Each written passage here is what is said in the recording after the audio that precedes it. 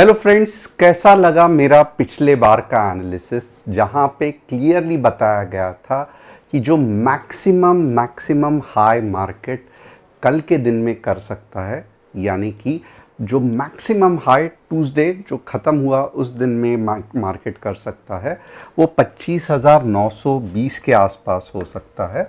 और आप पिछले बार का अगर मार्केट देखोगे तो यही है वो 25,900 का लेवल। और यहाँ इसके बाद ये भी कहा गया था कि एक बार 25,900 पे अगर आपको कुछ बढ़िया सी रेड कैंडल दिखाई दे जो आपको दिखाई दे रही है आप शॉर्ट के बारे में सोच सकते हो और आप देख सकते हो अगर आपने वही जो जो पिछले एपिसोड में बताया था उसको ठीक तरीके से अगर आप फॉलो करते तो आप बढ़िया सा मूव कैप्चर कर सकते थे। अब आप बोलोगे कि क्या आपने जो एनालिसिस किया है, आपने तो कहा था कि पच्चीस हज़ार, यानी कि twenty five thousand five fifty lowest रहेगा और twenty five thousand five six fifty भी आ सकता है। बट यहाँ पे क्या हो रहा है? मार्केट ने आपके जो लो किया, वो twenty five thousand seven fifty का ही दिन भर में लो किया। बट आप देखोगे वो भी बुरा नहीं है, क्योंकि ऑलमोस्ट आप देखोगे तो 100 डेढ़ सौ पॉइंट आप 15 मिनट्स के कैंडल्स में भी कमा सकते थे। और ये खेल इधर ही ख़त्म नहीं हुआ है। आने वाले दिनों में यानी कि कल एक्सपायरी है और बहुत बढ़िया मुँह आने वाला है।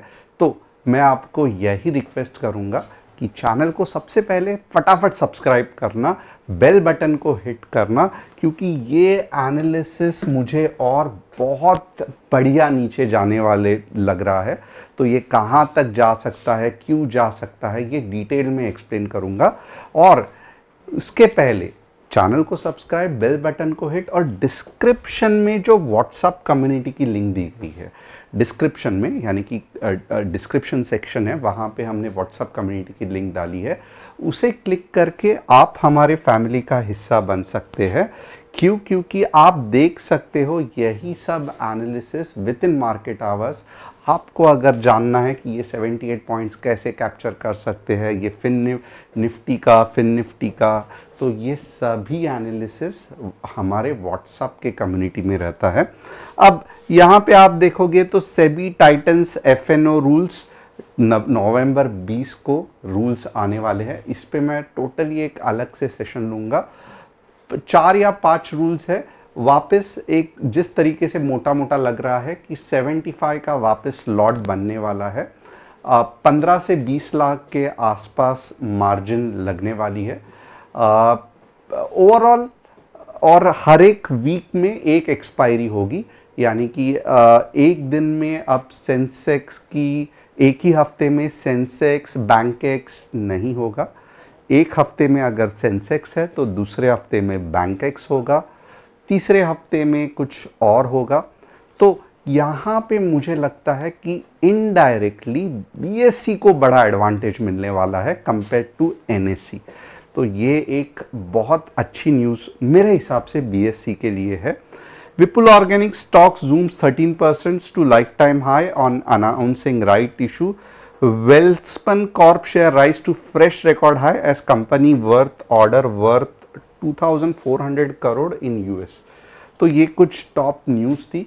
अब आप और एक इसमें टॉप न्यूज़ में अगर ऐड करोगे तो यस यूएस ने जैसे बताया था कि ईरान ने कम से कम तीन मिस, तीन सौ मिसाइल्स इसराइल पे दाग दिए हैं। ये कल की बात है, आज क्या है? तो आज सेकेंड अक्टूबर गांधी जयंती है।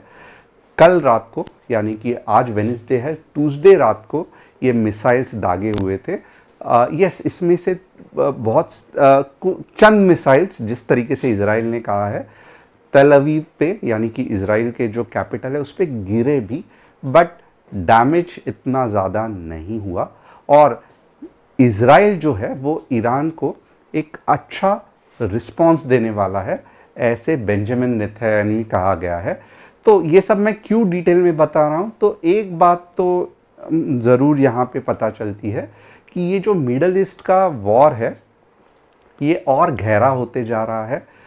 दुनिया एक्सपेक्ट नहीं कर रही थी कि Iran directly ballistic missiles fire करेगा और वो भी 300 लग के आसपास।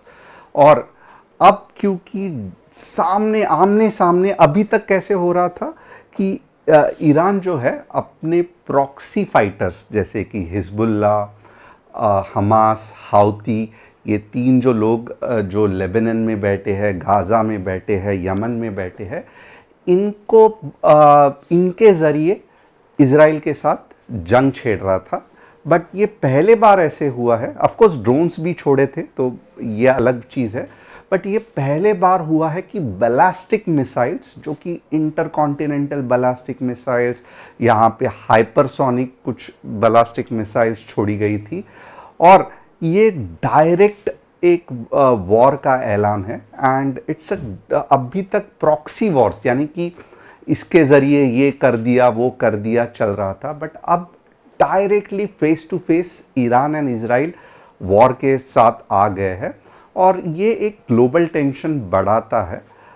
फॉर्चुनेटली क्रूड प्राइस अभी भी कंट्रोल में है।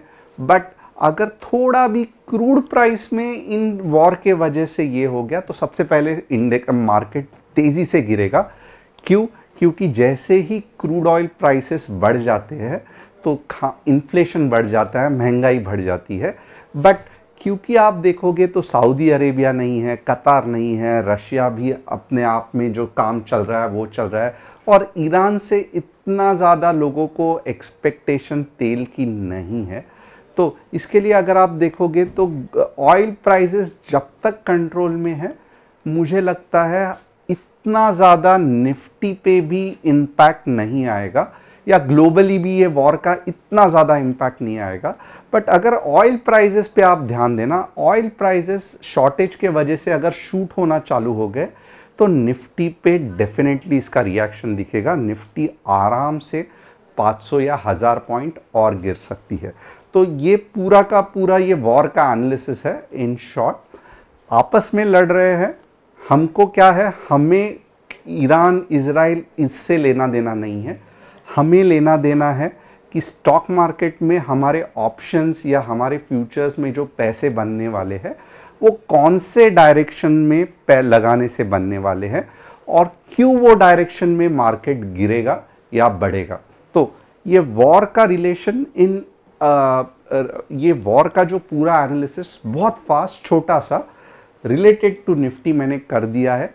वॉर का डायरेक्ट रिलेशन क्रूड प्राइस से है। क्रूड प्राइस अगर बढ़ने लगे तो निफ्टी बहुत ज़्यादा नीचे गिरेगी। क्रूड प्राइस जब तक सही सलामत है, भले वॉर यस ग्लोबल टेंशन है बट निफ्टी पे इतना ज़्यादा बड़ा इफ़ेक्ट नहीं दिखेगा। यस एक डेढ़ परसेंट इधर उधर नीचे गिर जाएगी निफ्टी बट संभल के वापस ऊपर आ जाएगी। यहाँ पे एक इंपॉर्टेंट चीज़ है कि अगर आपको हमसे संपर्क करना है तो यही नंबर है nine one five two six one five one two one आप यहाँ पे हमें व्हाट्सअप कर सकते हो। हमारा कोई भी टेलीग्राम चैनल नहीं है, जहाँ पे हम पोर्टफोलियो शेयरिंग या प्रॉफिट शेयरिंग या क्रिप्टो करेंसी ये सब हम कुछ भी नहीं करते। तो फ्रॉड चैनल से बचिए, और हमारा सिर्फ़ एक व्हाट्सअप कम्युनिटी का ये नंबर है। और हम कोर्सेस आपको सिखाते हैं। अब यहाँ पे आइए चलते हैं। मेन जो हमें जानना है कि कल कैसे रिएक्ट करेगा मार्केट तो आ, कल अगर आप देखोगे ना तो ग्लोबल मार्केट थोड़ा सा सहमा हुआ है क्योंकि बैलिस्टिक मिसाइल्स फायर करना मेरे हिसाब से बड़ी बात है। तो यहाँ पे अगर आप देखोगे ना तो मेरे हिसाब से पच्चीस हज़ार सात सौ तक भी अगर गैप डाउन हो रहा है तो आपको ज़्यादा सोचने की ज़रूरत नहीं है एवरीथिंग इज़ फाइन और हमारा जो लेवल है, पच्चीस हज़ार पाँच सौ पचास, ये इंटैक्ट है फ़िलहाल के लिए। तो कल कैसे मार्केट रिएक्ट हो सकता है? डायरेक्टली गैप डाउन होगा, पच्चीस हज़ार सात सौ के आसपास दिखेगा। उसके बाद में मे भी थोड़ा सा दो जी या ये सब। और उसके बाद में जब नीचे गिरेगा तो ज़्यादा से ज़्यादा मैं एक्सपेक्ट कर रहा हूँ कि अभी भी 25,550 ही इंटैक्ट है। अब इसराइल रिएक्ट करेगा। डेफिनेटली इसराइल बताएगा कि ये जो आपने मिसाइल्स फायर किए हैं उसके अगेंस्ट हम क्या एक्शन लेने वाले हैं।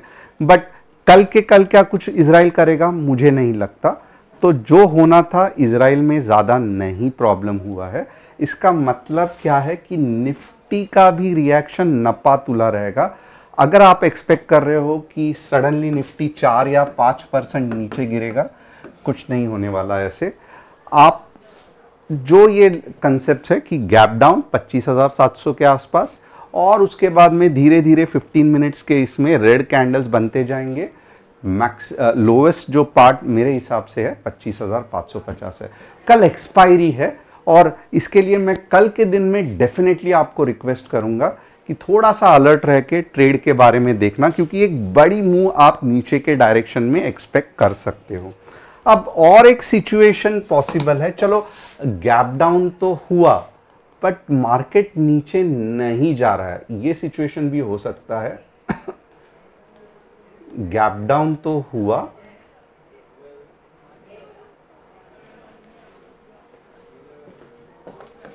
बट मार्केट 25,700 के आसपास गैप डाउन तो हुआ बट मार्केट नीचे नहीं जा रहा है। तो वापस वही कंसेप्ट है मार्केट ऊपर अब तभी ही जाएगा जब 25,920 के ऊपर एटलीस्ट वन आवर की ग्रीन कैंडल क्लोज होगी। तो बुलिश व्यू कब है? 25,920 one hour green candle closing इसके अलावा जो भी आपको थोड़े से भी पुल बैक्स दिख रहे हैं तो आपको जब भी भी यहाँ पे रेड कैंडल दिखेगी आप नीचे के मुँह के बारे में सोच सकते हो। और कल का जिस तरीके से एक्सपायरी भी है कंसोल्टेशन भी हो गया है कल का एक फंटास्टिक डे मुझे लगता है कि 25,650 से लेके 25,550 तक मार्केट जा सकता है। तो थोड़ा सा अलर्ट रहना मॉर्निंग में भी सम, आ, ये रहना क्योंकि एक कल अच्छी खासी मूव नीचे के डायरेक्शन में दिख सकती है। अब आते हैं बैंक निफ्टी में। बैंक निफ्टी में भी अगर आप देखोगे तो सेम व्यू हम रख सकते हैं कि मार्केट यहाँ पे अगर आप देखोगे तो एक 52,500 तक मार्केट जा सकता है। मार्केट रिवर्स यानी कि बुलिश व्यू कब रखता है? तो बहुत सिंपल है market 53,300 one hour green candle closing पे ही। One hour red candle closing नहीं 53,300 one hour green candle closing पे ही अब बैंक निफ्टी ऊपर जा सकती है। इसके पहले अगर आप देखोगे तो जो भी ऊपर का डायरेक्शन रहेगा वो एक जस्ट पुल बैक हो सकता है। और ये तो पहला स्टॉप है 52,500 बट जिस तरीके से बैंक निफ्टी दिख रही है मुझे इतना बड़ा मुँह तो 52 के भी आने के चांसेस कम नहीं है। तो ये आप डेफिनेटली ये चीज़ पे भी ध्यान देना। 52 के हो सकता है, कल के दिन में आ जाए, बहुत हमें संभल के रहना चाहिए। अब आइए देखते हैं कुछ स्टॉक्स जो हम एनालिसिस करने वाले हैं। मार्क्सन फार्मा बुलिश है ट्रेंड अपवर्ड्स है बट फ़िलहाल कंसोलिडेट हो रहा है। तो मैं कहूँगा कि यहाँ पे, यहाँ तो भी हम पकड़ सकते थे तो सही थे। अब हम अननेसेसरीली इसको पकड़ने को नहीं देखेंगे, क्योंकि कम से कम एक महीना लगेगा 275 के आसपास जाके फिर ऊपर जाएगा। तो मार्क्सन फार्मा सही है बट ये टाइम प्रॉफिट बुकिंग का है, ना ही कि फ्रेश एंट्री का। आरवीएनएल देखते हैं। अगेन आरवीएनएल कंसोलिडेट हो रहा है। बहुत जल्द एंट्री मिल सकती है। फ़िलहाल के लिए मैं कहूँगा कि आरवीएनएल जितना भी कंसोलिडेशन होना था, चल रहा है। बट एक हार्डली अगले 15 या 20 दिन में एक अच्छी अपॉर्चुनिटी मिलने वाली है आपको वापस अप ट्रेंड देखने में आरवीएनएल में। तो जो कंसोलिडेशन का टाइम है, वो लगभग लगभग आरवीएनएल में ख़त्म होने आया है। बहुत इंतज़ार, मुझे मालूम है, बहुत लोग इंतज़ार कर रहे हैं। Aarti drugs yes Aarti drugs is also in up trend but overall अगर आप देखोगे चार्ट इतना मज़ेदार नहीं है कंपेयर टू ऑफकोर्स क्योंकि ये 15 मिनट्स का है मैं वीकली चार्ट देखता हूँ बट ओवरऑल साइड ट्रेंड ही है वीकली चार्ट में तो अननेसेसरीली मेरे हिसाब से आप ज़्यादा आरटी ड्रग में इंटरेस्ट लेना कुछ मतलब नहीं है। सो so, होप आपको एनालिसिस पसंद आया रहेगा। थैंक्स अ लॉट चैनल को सब्सक्राइब बेल बटन को हिट और डिस्क्रिप्शन में जो व्हाट्सअप कम्युनिटी की लिंक है, उसे क्लिक करके हमारे साथ जुड़ना मत भूलना। थैंक्स अ लॉट और हम कल फिर मिलेंगे। कल एक्सपायरी है, बहुत इंटरेस्टिंग होने वाली है।